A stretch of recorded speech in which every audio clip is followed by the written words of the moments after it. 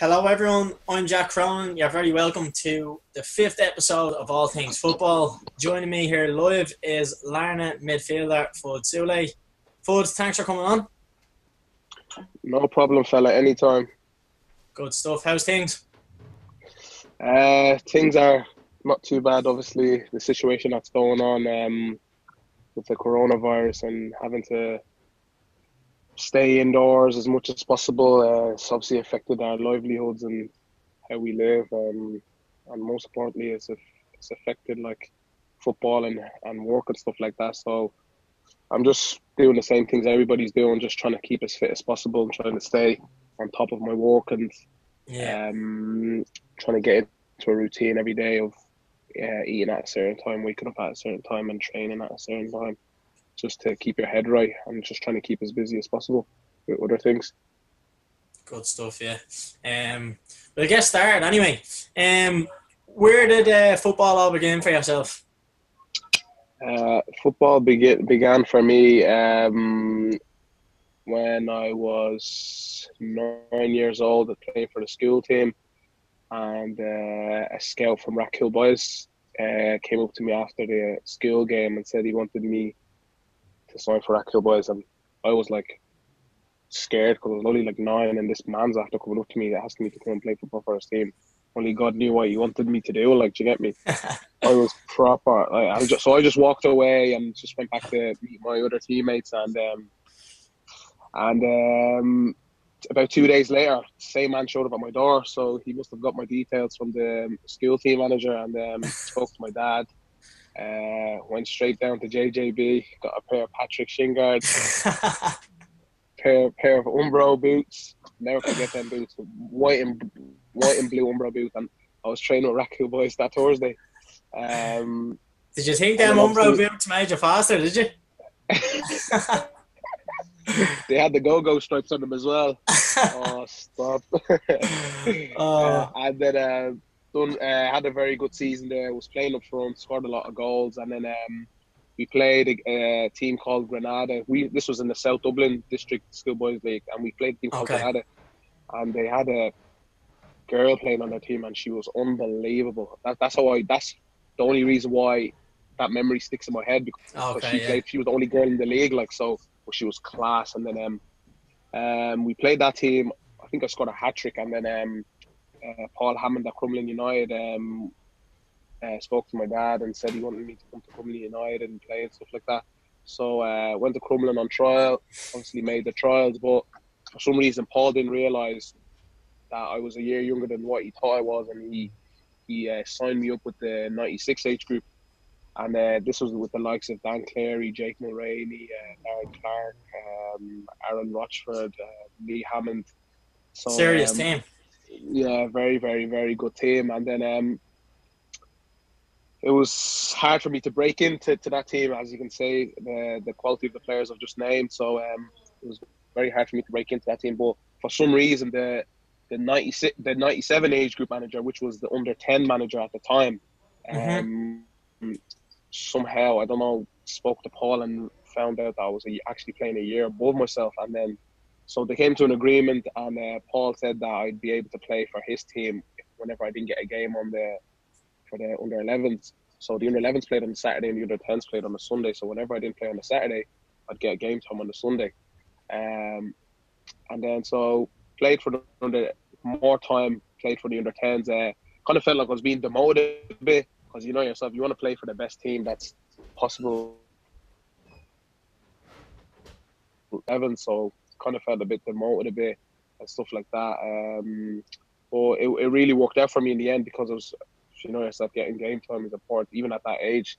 Yeah. Getting game time is important, and um, yeah, I was playing up front, done very very well with the under 10s, and then um, we agreed when we when the under 11s went to under 12s, we agreed for me to stay at the under 10s permanently. So I was now playing under 11s Saturday football like permanently, which which was once you go to under 11s, it's now 11 side. Used to Yeah, be 9 yeah. side when you're under 10. So I stay there permanently now. Um, and um, yeah, just worked my way up.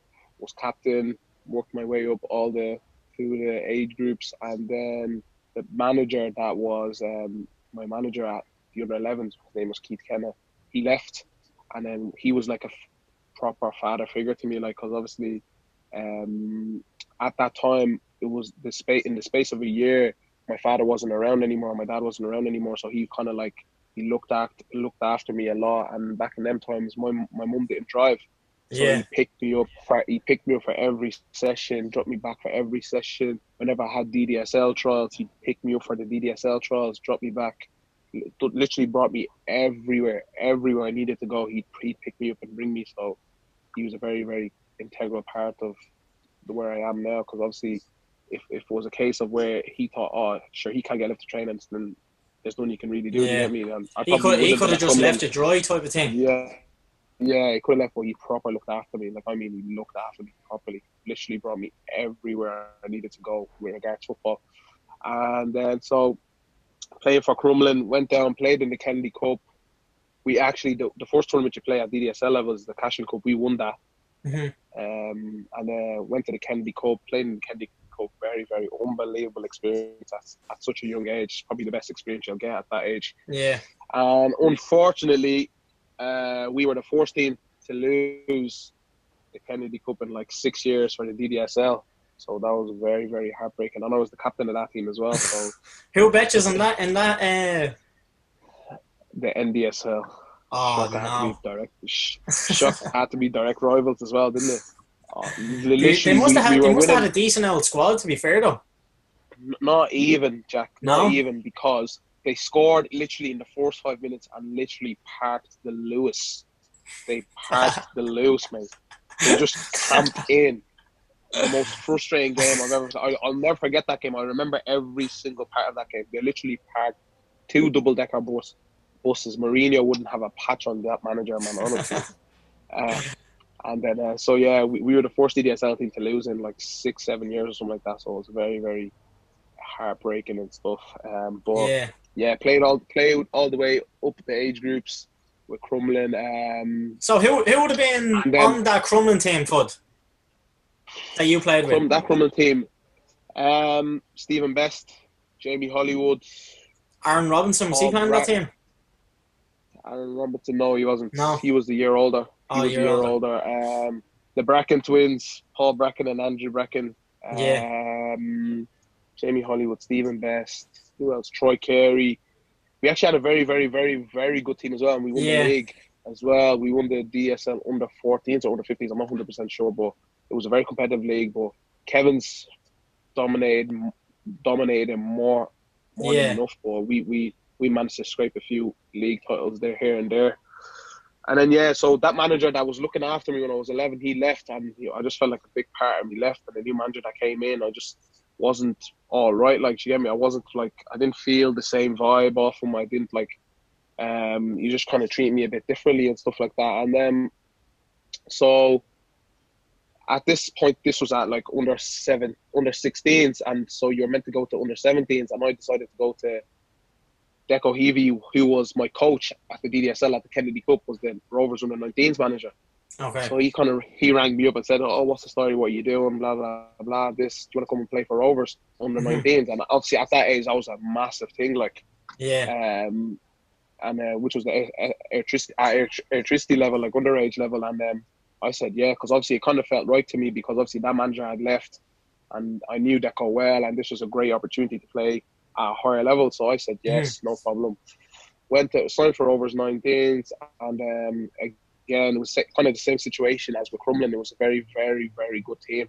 Very hard to break into it. So we kind of came to another agreement at that time that I play for the Rover 17s because obviously I was still eligible. Yeah. Um, but they this at this time the under, under 17 Airtricity league wasn't open yet, so that Rovers under 17s team was still DDSL. DDSL. Yeah. Yeah, yeah. So I played played there, played against Crumlin, played uh, played against all my old teammates and stuff like that, and um, yeah, played done out, done done well. The team weren't great, but obviously at, at, at the same time Yeah. just to get match time and stuff like that. And, Mhm. um, so at the end of that season, that my fourth season at Rovers 19s, um, Rovers made the B team. And then so all the 19s lads moved up to the B team, and all the 17s lads moved up to the 19s. Mhm. So um, I was able to get more game time out with the 19s at that time and stuff like that. We had a Mm. very good 19s team: Richie Porty, Evan Osam, um, Keen Kavanagh, um, Sean So, Heaney. For, just sorry, sorry to cut across you. So, see when you were at this point, yeah, and you were at Rovers, Yeah, or even at Crumlin, wherever it may be, in your teenage Yeah. years, yeah. was it a case for you that you were? Did you kind of know always that you wanted to make it professionally, or were you just playing it for enjoyment, or what was your scenario? Um, obviously, when you're that young, 10, 11, you're just playing football to enjoy. You could Mhm. even play three Yeah. ninety three matches because obviously you you just want to run around and play football Mhm. with your mates. Like that's what you Yeah. thought at that time. But obviously, when you start reaching 12, 13, and you start seeing lads going away, you start seeing lads going on trial there, start seeing lads going on trial here. You, it, it's a thing that starts. You can start thinking in your head that oh, I actually want to do this now. And uh, from when I was about 12, 13, after the Kennedy Cup, and when you go on trials, went on loads of trials and stuff like that. That's when you. That's when I really wanted to become a professional. Like, and um, Mhm. it, it was a long, winded journey because when lads were going away and I was, st- I, was still here. I was not like you were. You were jealous. You just kind of like, oh, I want that too. Do you know what I mean? I want to be playing in England too and stuff like that. And it kind of drove me more. And then, um, so that's when um, our Rovers 19s when that didn't work out. I went to Pats because obviously. Okay. Pats, So, how did that move come about then, Foot? Um, that move came about because my one of my friends that played with the Pats coach gave me his number. The Pats coach was Richie Smith, Okay. so I rang Richie Smith. I rang Richie Smith. This was the first ever time that I I, I rang a manager up directly, actually asking to play for a team to get me. Okay. It was yeah. usually managers would ring me up and say, "Did I want to come to their team and stuff like that?" So uh, I had to grow up quickly, and so I, I rang Richie up. I was like, "Oh, Richie, can I come? Uh, uh, what's the story? Can I come up on, on trial?" He, he asked me how did I play for. I gave him my background and stuff like that, and he obviously done his due diligence. Said, "Yeah, no problem. Come on trial." Went on trial, done really, really well, and um, signed for Pats. Um, this was the Pats team with the likes of Darren Markey, Jamie Mhm. McGrath, Jack Bailey, all them types of which we had a very, very, very good team. Um, played for Pats for two two years at underage level, and uh, won the league, won the All Ireland, um, won the won a, won a good few trophies at Pats. Um, I was 17, 18, and at this age, that's when you start kind of like getting involved with the force team, having training sessions with the force team and stuff like that. Yeah. So And, we'll break um, we'll break it down a little bit. So you said Yeah. you're play, playing at Pats. What was it like to win trophies there? You mentioned a few players. So playing alongside the likes of Darren Markey, Jamie McGrath, players like that, and then obviously making your first team debut at Pats as well. So maybe just break it down a little bit like that first. Yeah, no worries. Um, yeah, that comp- competition as well because there were players that were playing in my position. Mhm. Um, but yeah, unbelievable players. We won the All Ireland and uh, we bet Derry three two in the final. Jamie scored a winner.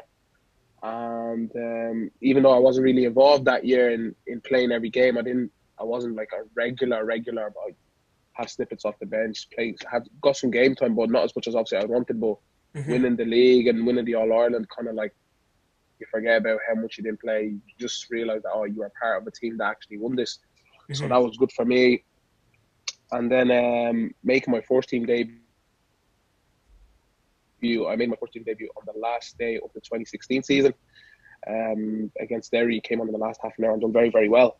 And um, so we went into the off season of that season, and um, I had a couple of options of because I was done at 19s then, so I had a couple of options to in the league. League of Arts was one of them, and um, there was a couple of other clubs. But obviously, the most standout club was Bohs, Mhm. and uh, I got a call, call from Keith Long. He had been watching me for a long, long time, and um, got a call from Keith Long because my cousin played there, Izzy. So Izzy kind of Izzy, told yeah. him that I was his cousin and stuff like that. So he thought that that, that was the direct relationship to kind of bring me to the club. Mhm. With Pats, obviously, I loved my time at Pats, and then I was still keeping all options open and with Liam Buckley and stuff like that. And um, but I decided to sign for Bohs anyways, and um, the, that Bohs So how yeah, so how did that move to Bohs come of them. about? Was it just a direct call from Keith Long himself, or what way did it happen? Um, yeah, it was. I just we, I was playing a college game one uh, one day, and um, just on the way home, and I got a call from from um, an obviously an unknown number at this time because I never had his number saved. And Yeah. He said, uh, yeah, um, just said, yeah, my name's Keith Long. Um, introduced himself, who he was, what he did. Said that he'd like me to come to Bohs. That he's he scouted me a lot. He's watched me a lot. He's said good things about me as a person as well as a footballer and stuff like that. And he said that yeah, that um, that Izzy's um, he just kind of used Izzy as a lure to kind of bring me to the club. So he kind of Yeah. sold the club that way because he knew that oh, who wouldn't like to play at a team where you know somebody already and you're so close to somebody on the team already, hmm especially somebody that's your family.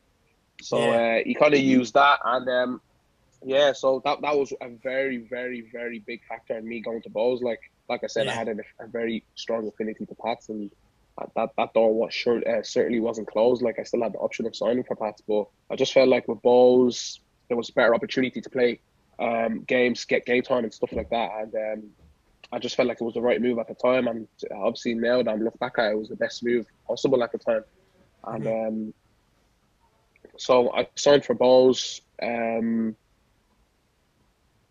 uh, on an on amateur forms, um, Mhm. obviously because when when you're so when you're 17, 18 and it's and you're kind of like don't have any f- experience of first team football. It's a it's it's a gamble, not a gamble, but you don't really get put on pro forms at, at that age, and when you have no Yeah. experience of first team football. So I signed on amateur forms. Mhm. Um, for me, that wasn't a, a big issue if you're a professional or an amateur. It was just the fact that I was playing for Bohs in the League of Ireland, and that was the big thing for me. yeah. Um, and my time at Bohs at the start was, So see, you were at. Bohs Ford, right? Okay. Yeah, And Yeah. when when we obviously would have done that FOS cars and stuff together, and yeah, we were training every day, I would have kind of thought Gio was more of a an attacking player and stuff, and I don't know, Yeah. creative kind of, I don't know, looking to make things happen. How do you go Yeah. from playing kind of in an attacking kind of position to going from into a holding midfielder role? How did that happen for you? Yeah. I actually left that part out, but yeah, that was a, a bit. That was a big turning point in actually the player I am now because.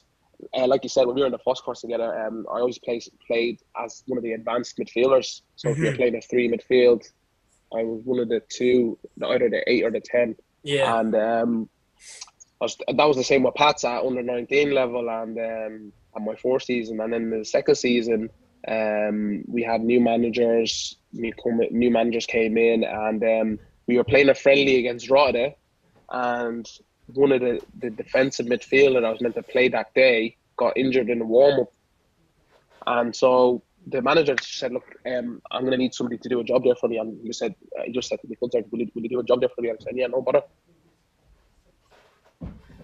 played there and like, had an absolute game of my life, mate. Honestly, and um, Liam Buckley and uh, Dave Campbell were there, who were the fourth team, the fourth team manager and the head of recruitment for the for the Pats fourth team. yeah. And they just came to me. They just came to me after the game, and said, "That's the best I've ever seen you." Like, honestly, I was like, like I was so, shocked. Was that was done that a well. case of like a, a turning point for you then? Was it just because you had an outstanding game? You were like, here, I think I might give this a crack, or what was it? Literally, in that game, my, under nineteen manager said, "There's no chance you're playing in one of the advanced midfield positions again. There's absolutely no chance." And obviously, like I said, the first team manager was there, so he obviously seen me as that player in that position then. So there's no way I could have played there for the 19s because once the first team manager sees you in a certain position, you're going to play there for uh, for, for the 19s. Because obviously, when you move up to the first team, that's the position they want you to play in. So Mhm. ever since it was that, that was the big turning point for me. Played there, played the six, played there for a year. Um, at Pats, um, just obviously my second year. So I was one of the older lads at the at the at, on the team now. So there was 17, 18 year old, 16, 17 year olds coming through, and I was 18. So just my last year at 19, I was. Um, it just kind of like brought my game to another level. Just brought my game to another level in um, in the sense that I was able to express myself more. I was able to get the ball off the centre halves and kind of like dictate the tempo of the game and stuff like that, which Liam obviously liked because he's a possession pay he's a Mhm. possession based manager. Yeah. So yeah, brought my game to another level that year and um, we've done very very well and uh, that was the year I made my debut. And then ever since then, I've just been playing in that position, and I'm playing Yeah. in that position now. Like, and I don't So- think I'm going to be. So your first kind of season in senior football, as you could say, Foot, okay? midfield anytime soon again. And how influential was Keith Long and Trevor Croly in you for your first season at Bohs playing in that position? um, like life, not maybe life changing is an exaggeration, but at the same time, it they did change my life in the sense that they actually taught me values off football, off the football pitch as well, as well as on the pitch. Hmm And um, anybody anybody that was in that Bohs dressing room in 2006 in the 2017 season definitely didn't think that how it started that year would have was how it was going to pan out and how Mhm. it ended the year. Cause um, at the start of that year, the first maybe two three months at my time at Bohs, I was literally ready to quit football, ready to leave, ready to like stop. I said because obviously I couldn't deal with the pressures of playing for three points, which is at the end of uh, on a Friday night, which is people's livelihoods, people's do you get me fans Yeah. and stuff like that. I couldn't I couldn't deal with it in the sense that at that time I had a lot of pressure on me with stuff external to football, with college and exams and and college football as well. Because obviously at that time I was in Maynooth and they were sponsoring me uh, my scholarship, so there was no oh I have a match on Friday night, I can't play on Thursday Yeah. it, it wasn't like that. Co- college football was kind of put at the same level as that because, like I said, they were they were um, paying for my scholarship and stuff like that. So had a tough time, very, very, very difficult time. Had a few, two or three run-ins with the two of them as well at the start. Like, and it, it, it just showed how ruthless first team football is because it was it was such a cultural shock. Like I Yeah. Some of the stuff that was said, some of the stuff that was did, it was literally like I was just thinking like, yeah, this isn't for me. I'm I'm, I'm gonna pack it in and it's just gonna stop. And then um, but the, the the thing at the end of the day is that even though they kind of used the iron fist on me, they never gave up on me. They kind of still said to me at the end of the day, regardless of how they felt towards me after a training, specific training session or after a specific game, they kind of still said, look, we know the ability you have. We've watched you many, many times. You just don't become a bad player overnight. Yeah. That maybe it's just a maybe it's just a thing where there's a lot of pressure on you at the moment. So they kind of just took a back seat and just said, look, do you know what you, you you're gonna have to do is just start enjoying your football again, start working hard and train and stuff like that. Because at this time my head was completely gone. Like like honestly, it was out the window Mhm. and they just kind of gave me confidence uh, um, from that point of view and just kind of said look just just um, go back to the basics and strip everything back and don't think too much about things and and and then you, you'll come good. And then uh, it, it happened and I, I made my debut against um, Cabinteely in the EA Sports Cup which was a game where players that haven't been playing on the Friday Yeah, fringe players, game yeah. time that way. Fringe players and stuff like that. Played in that position and again had an absolute worldy of a game and um Keith just kind of said to me after the game and he goes he kind of just said look I knew you could do it. I, I always believed in you even though it was tough with you at the start and stuff like that. And um boy just kind of showed you I just you just showed me there that you are able for this and you are able to be a part of this club and play at this level and stuff like that. So made my debut on the Tuesday night against Cabinteely and made my, my league debut on the Friday uh, against Sligo, which was a, even though I, I know I did well on the Tuesday, didn't think I'd go straight into the starting eleven on the Yeah. on a Friday night. My debut when Keith was calling my name out was just a huge shock. But everybody was kind of buzzing for me uh, because everybody knew what I'd gone through to get to that point and stuff like that. Um, so I'd done well against Sligo again, and just it just snowballed from there and just got better and better every game Yeah. and the big the bigger the game, the better I got and stuff like that. And I started to forge an unbelievable relationship with Keith and Trevor. Um, because I think now at that when I was doing well, they kind of respected me more because it was easy for me to, uh, like I said, pack it in and say I'm done and Yeah. um, I don't want to play anymore. I don't want to be a part of it anymore because at this time you're not even getting life changing money anyway. So you're just like, "Do you know Yeah. what? I'm not even. I'm, You show you show great character there, and I, I suppose just- they like that. I'm not playing uh, on a Friday. Yeah, that's why our relationship kind of went to the next level because they respected me more and they kind of knew that oh yeah, now he has a bit of character about him and he has a bit about him, like do you get me? And uh, um, so as like I said, as the season went on, I just got Yeah. better and better as the season went on, and um, You, I suppose you became a, a fan July. favourite then in Daily Um, Mount as well, didn't you?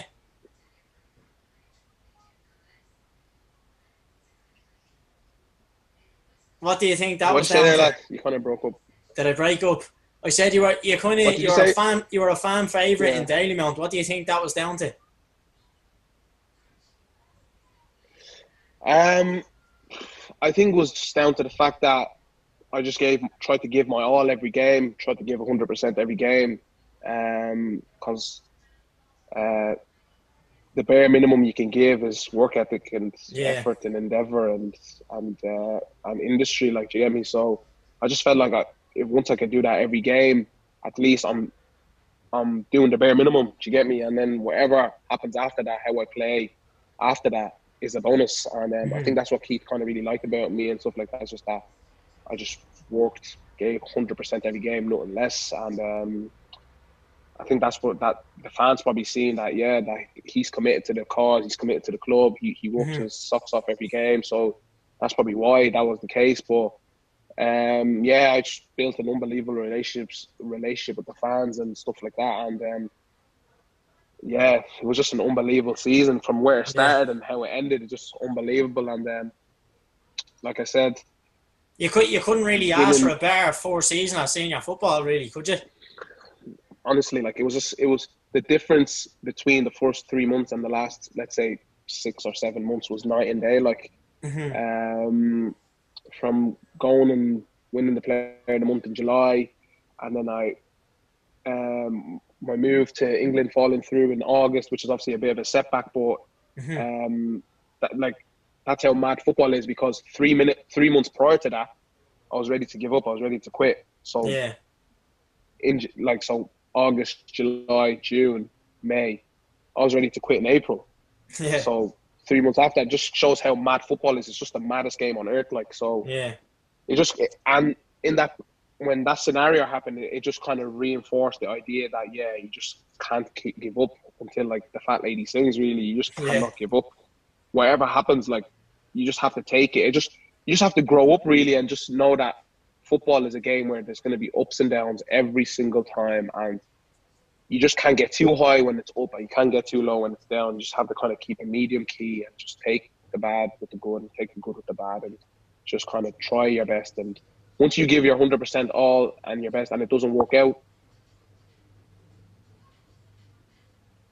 well, you have no rest. But yeah, and then ending the year winning the Player of the Year was was obviously a big shock for me as well, and it just went to show you the difference that season made for me as a person as well as as a footballer. I kind of realized what it's like to be in a dressing room where there's three points on the line every Friday night. People's livelihoods are at stake. People's fans are when you're not winning. Fans are known. I think that just kind of gave me the boot up the bum that I needed, and yeah.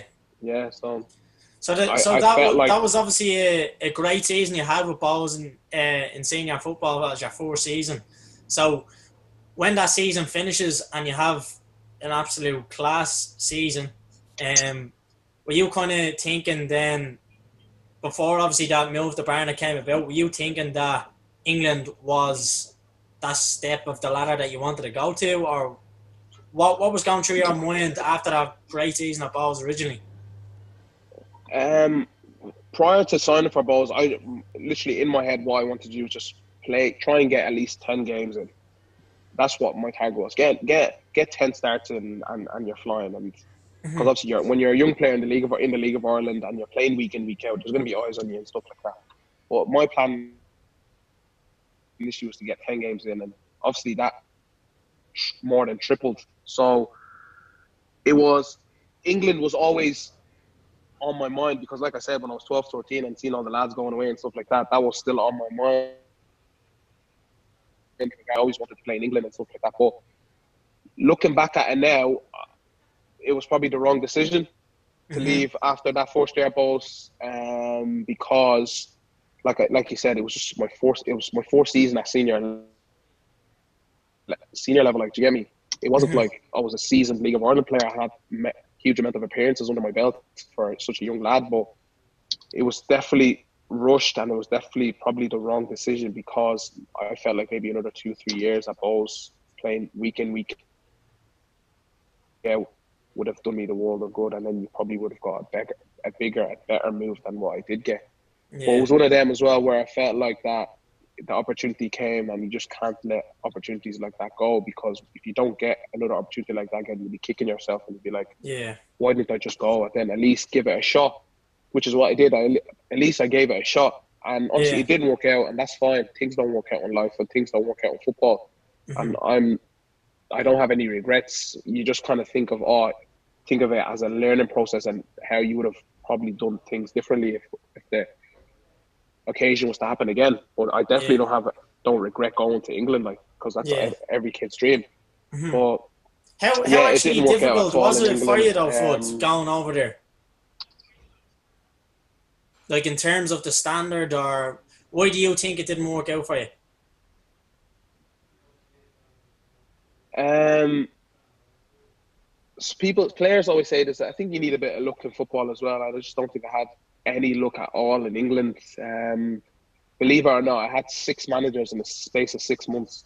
Yeah, that doesn't six help. different managers in the space of six months, which is which is absolutely bonkers and unheard of. Like because mm-hmm. while you're training well, you're pressing the new manager, he gets the second. A new manager comes in who has his preferences, has the players that he knows already, players he wants to bring in. So you just literally the as you get up the ladder, you just get knocked back down to the bottom, and then that and injuries didn't really do me the world of good either as well because I broke my foot while I was over there. Okay. And um, did that I, happen in training or a game or how? I came back twenty. Yeah, I broke my foot again in a friendly against MK Dons. It was kind of a in-house game. Um, I was actually doing well that game, and it was a game where the new manager at the time, which was Martin Allen, was watching fringe players at the time to see who's who was going to complete the first team squad at the time. And like I said, I was doing well that game, and it was just unfortunate that I went up for a header, landed, and just foot just broke in half. Like so, was unfortunate. But I, I, I never like read into things like that and be like down over it because I just think everything happens for a reason, and probably yeah. the reason was for me not to be involved at that time so I can leave Barnet. So um, it, it was just one of them things, and like I said, I have no regrets. Um, it was a great experience in the sense you, you seen how things was done at a professional level club in England and and made friends for life and made obviously so many of them got lads that were over there I still talked on a daily basis or on a nearly daily basis. So it was a good experience from that point of view. But at the end of the day, regardless of how many friends you have or how many mates you make in a dressing room, the key is playing football and playing mm-hmm. week in week get and I wasn't getting that and I wasn't doing that. So I just felt like I had to leave and, and that's what yeah. happened. And um, so how how, uh, how did the I, loan move to Larne come about yeah, then? I'm, I'm going to go on loan and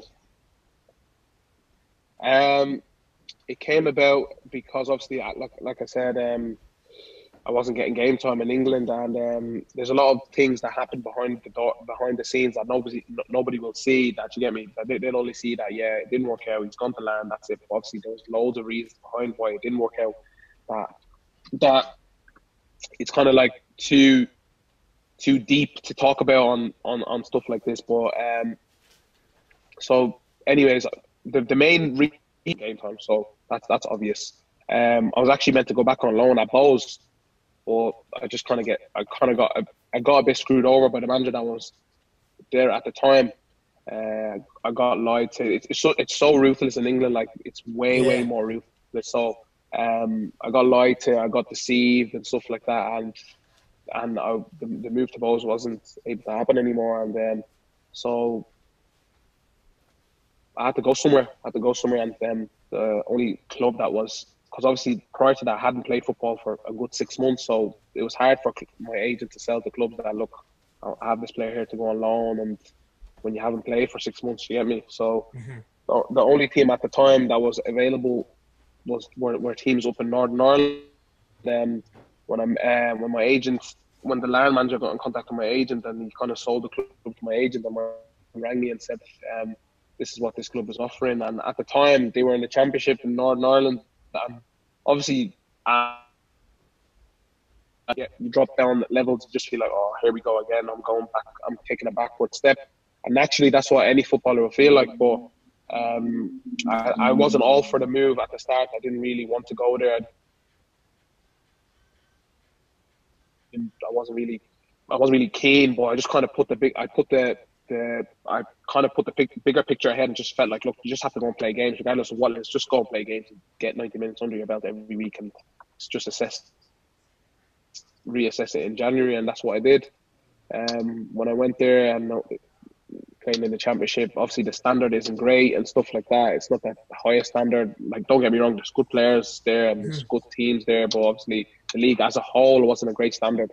And um, uh, I remember that period and people. I just when I it got announced that I signed a loan, got my phone box was absolutely hopping, saying, "How could you go there? How like why are you taking a step backwards? How like you're way better than that and stuff like that." I just and, and I, I know them people are kind of like knew that I, I would I could do better than what the level I was at now, but it's easy to let to use that. It's easy to let that get to you and be like, oh, these people are actually right? And um, I shouldn't be playing here and stuff like that. But that Larne team, when I first went over there and, and trained, it was a massive, massive, massive shock. The standard of the players that were there and the standard of the training was honestly I've never been so shocked in my life. Like in my head, what what I thought was going to be was the complete opposite the professionalism, the the commitment, the the quality of players, the it was it just blew my mind. Like I was just so shocked. But obviously the league wasn't great, but our team was very, very, very good. Like so I just kind of seen as at least I'm training with better players. I'm training with very, very good players every day, and we just kind of put put our heads down and try and get out of this league as, as quick as we can, and then play in the Premiership next year. And then that's what happened. And then in the January of that year, I signed permanently um, due to the fact that I've, I've I've seen what happened the six months prior to that, and I've seen the direction the club wanted to go, and I've seen the quality of the players that were there, and I've seen the the hunger and the drive that from the owner and stuff like that. So I just felt like that was the best move for me at that time. Um, and obviously there's there's things that were feasible that only Barnet could you get me? Only mm-hmm. not yeah. not necessarily afford, but only Barnet would accept because obviously at the end of the day I was still a Barnet player, and for me to go there permanently, it has to be negotiations between the two clubs. So mm-hmm. the the the offers that Barnet were putting out there weren't feasible for any other club except for Larne. So, um, so and yeah, it, I'm very grateful for that because they could have they could have said, nah, you know what, you've done your job for us the past six months. You basically won us.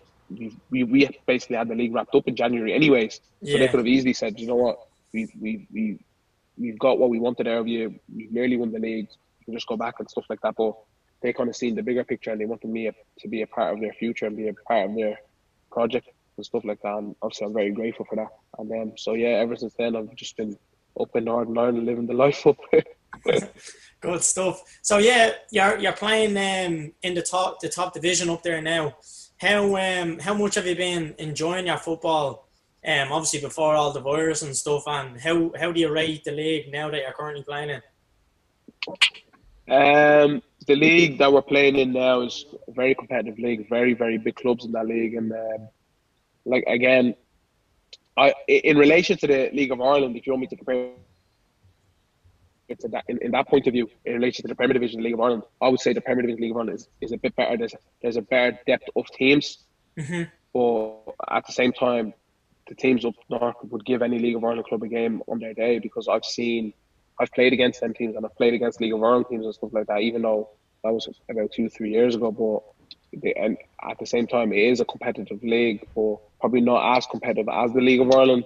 But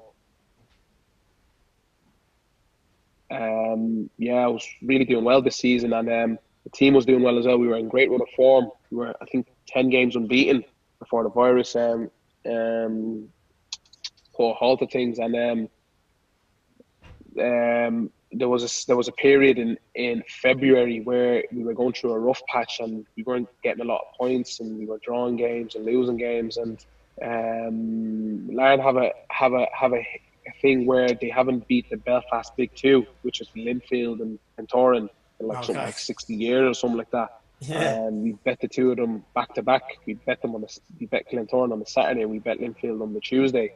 and that was a massive, massive confidence boost. And we just went on a huge run, and ever since then, we just haven't lost a game. And the last game we played um, prior to prior to the coronavirus halting things was in the cup against Coleraine, and we, we sorry, I told a lie. We actually lost that game. We we uh, got knocked out of quarterfinals, but undeservedly so. Like, but um, yeah, we were on a great rate, great vein of form, and um, I felt like with the way we we were playing and the way the squad was eliminated. Good stuff. Um, you've been deadly with your time so far, uh, so I'm just going to ask a few more questions and we'll wrap it up. All right. Yeah. Right. So, best player you've played with and against. Uh, Jesus, you have to catch me off guard with that one. uh, best player I've ever played with. That's a tough one. I would say Jeff Hughes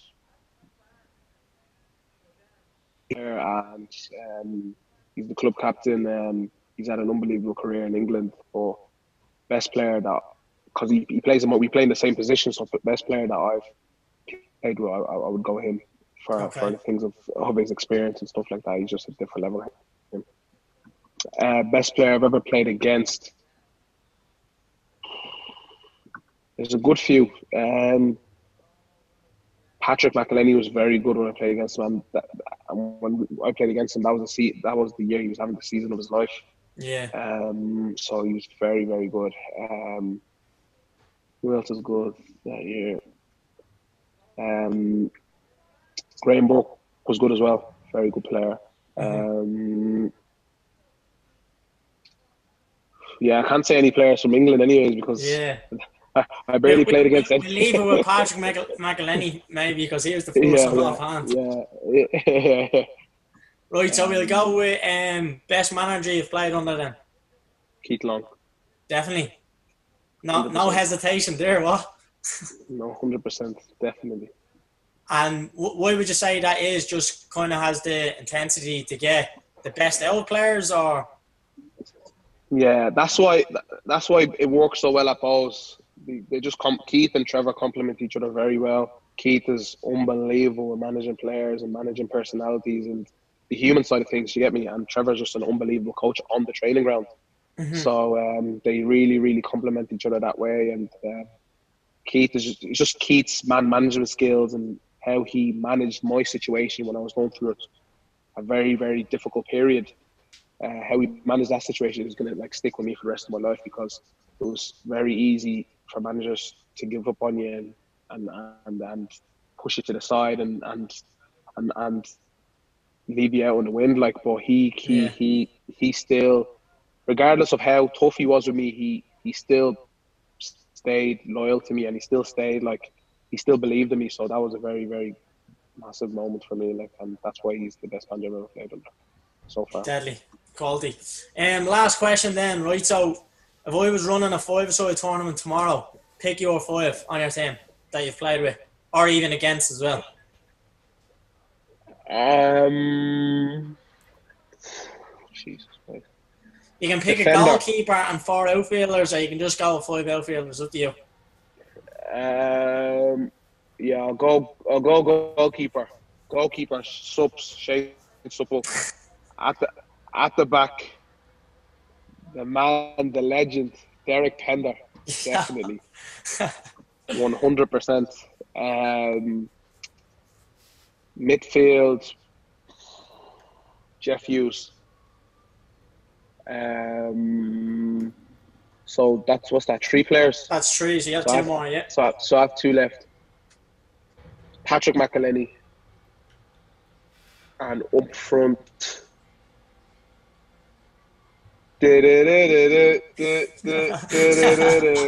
Dinny Corcoran. Yeah, definitely. Yeah, yeah. Stick the man who grabs the goals, huh? Mate, absolute fox to the box him. They'll be happy with that. Um, quality, right? That's it. Um, thanks for your time, and uh, let's hope you're back on the pitch doing what you do best. And uh, I'll speak to you soon, alright? Top man, Jacko. Fair play to you, mate. Take it easy. Cheers, fella. All Good the luck. best, lad. Bye.